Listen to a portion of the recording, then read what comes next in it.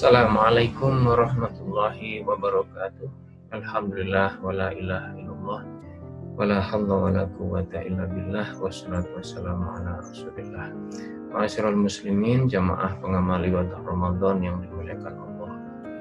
Kita semua mengetahui bahwa ibadah Ramadan kita pada tahun ini uh, spesial atau khusus karena kita melaksanakannya di tengah suasana wabah atau pandemi COVID-19 corona eh, virus corona yang melanda seluruh dunia dan tampak eh, menghentikan sementara banyak sekali kehidupan sosial yang selama ini kita jalani dengan normal. Sebagai seorang muslim, tentu uh, ini harus kita jadikan peristiwa yang membuat kita mengambil hikmah. Karena dengan hikmah itulah nanti kita bisa memiliki bahan atau alat untuk melakukan perbaikan-perbaikan di masa yang akan datang. Yang pertama, eh, ibadah Ramadan itu sesungguhnya adalah ibadah yang sunyi karena ibadah pokok dalam bulan Ramadan itu adalah uh, saum atau puasa. Yang kita tahu menurut surat, Al-Baqarah ayat 183 A'udzubillahi minasyaitonirrajim Ya ayyuhallazina amanu kutiba alaikumusiyam kama kutiba alal ladzina min qablikum la'allakum tattaqun.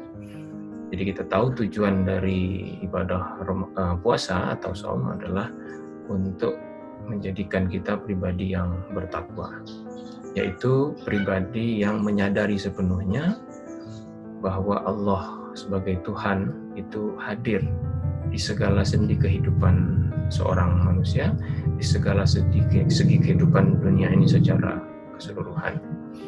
Dia hadir ketika kita sendiri, ketika kita bersama orang lain. Dia hadir ketika kita berada di rumah, maupun ketika kita berada di tempat-tempat umum seperti kantor, pasar, masjid, dan sebagainya. Nah, dengan kesadaran penuh soal kehadiran Allah di mana saja dan kapan saja ini, ini akan berpengaruh positif kepada seorang pribadi manusia.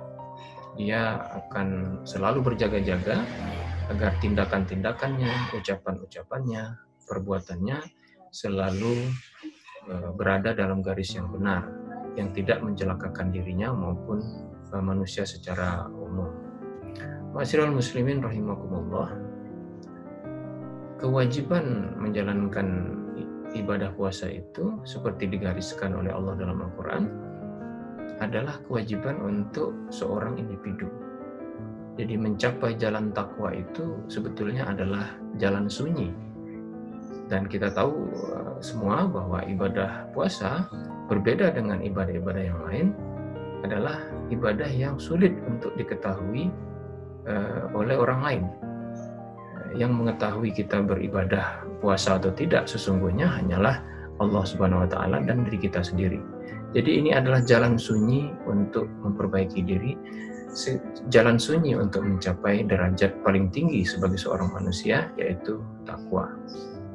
Tetapi ketika kita melaksanakan ibadah Ramadan seperti yang sudah kita jalani selama ini, ibadah Ramadan kita itu sebetulnya banyak dipenuhi oleh keramaian. Ibadah sunyi ini dipenuhi dengan berbagai ibadah-ibadah yang melibatkan banyak orang. Kita bertarawih di masjid, kita melakukan tadarus, kita kemudian melakukan kegiatan-kegiatan amal secara bersama-sama seperti sedekah, sedekah atau memberikan santunan anak yatim dan sebagainya dan sebagainya yang membuat ibadah Ramadan itu menjadi sangat ramai dan e, potensial untuk e, membuat kita lupa bahwa sesungguhnya esensi dari ibadah Ramadan itu atau ibadah puasa itu adalah e, ibadah yang sunyi, ibadah yang membuat kita harus berkontemplasi sepenuhnya memahami e, di dalam keheningan bulan Ramadan itu sehingga spiritualitas yang kita miliki betul-betul uh, meningkat. Iman kita betul-betul meningkat. Nah, adanya uh, wabah corona ini membuat kita secara terpaksa atau tidak terpaksa itu mengurung diri kita di dalam rumah atau mengurung diri kita di tempat-tempat yang sunyi yang membuat kita tidak uh, memiliki kesempatan untuk melakukan kontak fisik untuk melakukan uh, terlalu banyak keramaian. Jadi hikmah yang bisa kita petik dari sini adalah bahwa wabah ini bisa menjadi jalan bagi kita sebagai pengingat dari Allah untuk mengembalikan esensi ibadah puasa itu sebagai sebuah ibadah yang sunyi. Ibadah yang memang harus kita jalani betul-betul sebagai seorang individu tanpa terjebak kepada keramaian-keramaian yang selama ini melingkupi rutinitas ibadah Ramadan yang kita laksanakan selama bertahun-tahun selama ini. Yang kedua, masyarakat muslimin rahimakumullah, ibadah Ramadan di tengah pandemi ini uh, membuat kita uh, menyadari bahwa uh, kita pada saat ini berada di dalam persimpangan jalan. Dalam berbagai teori perubahan kelembagaan atau perubahan politik atau perubahan sosial, para ahli memiliki teori yang dinamakan dengan nama critical juncture atau persimpangan kritis. Critical juncture adalah situasi di mana manusia dihadapkan pada pilihan-pilihan yang tidak yang tidak ada contoh-contoh sebelumnya. Dia dihadapkan kepada keadaan di mana dia harus mengambil eh, kebijakan, mengambil pilihan untuk melanjutkan kehidupannya, tetapi dia tidak memiliki referensi-referensi sebelumnya. Nah, sifat dasar dari wabah corona ini atau wabah COVID-19 ini uh, pada dasarnya tidak ada saat ini uh, orang yang betul-betul paham atau betul-betul tahu uh, mengenai apa sesungguhnya dan misalnya kapan dia akan berakhir dan sebagainya. Dengan kata lain, manusia pada saat ini di seluruh dunia dihadapkan pada situasi critical juncture itu.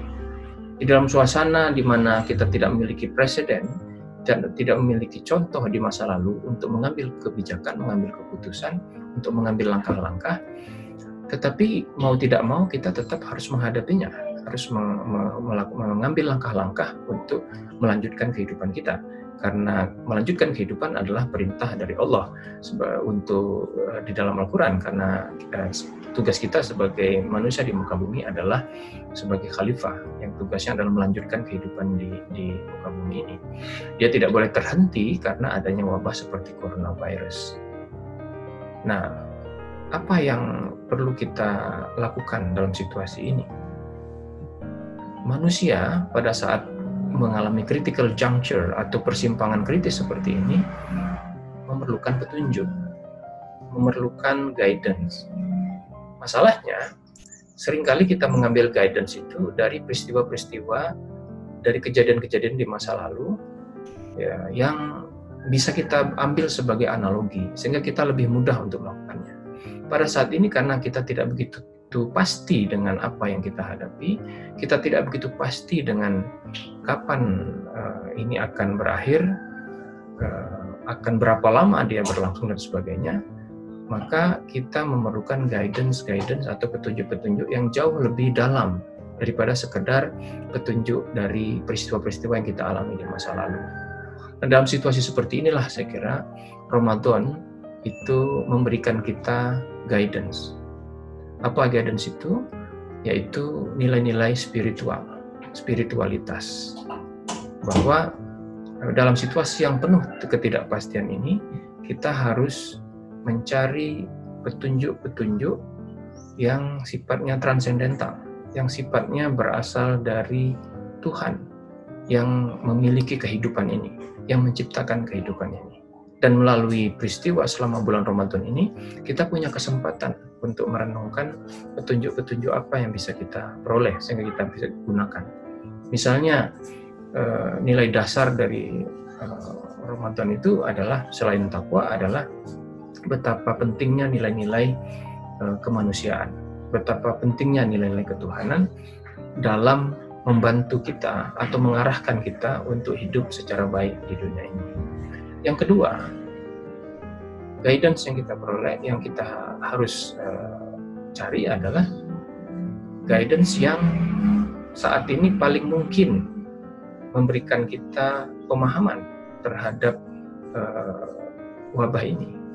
Tidak ada jalan lain kecuali uh, kita berpaling kepada ilmu pengetahuan.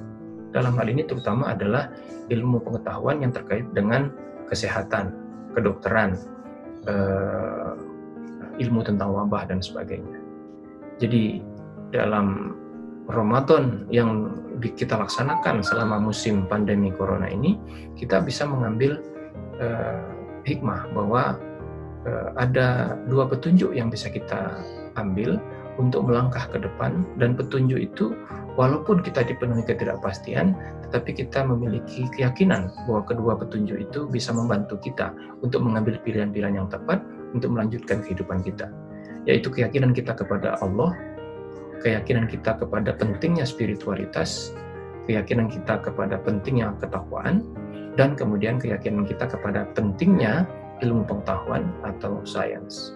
Dan saya kira sebagai insan kampus, terutama di kampus besar seperti Universitas Gajah Mada, perpaduan antara spiritualitas dan sains ini adalah sesuatu yang sangat penting. Demikianlah yang dapat saya sampaikan. Mudah-mudahan ada manfaatnya. Billahi taufiq wal hidayah. Wassalamualaikum warahmatullahi wabarakatuh.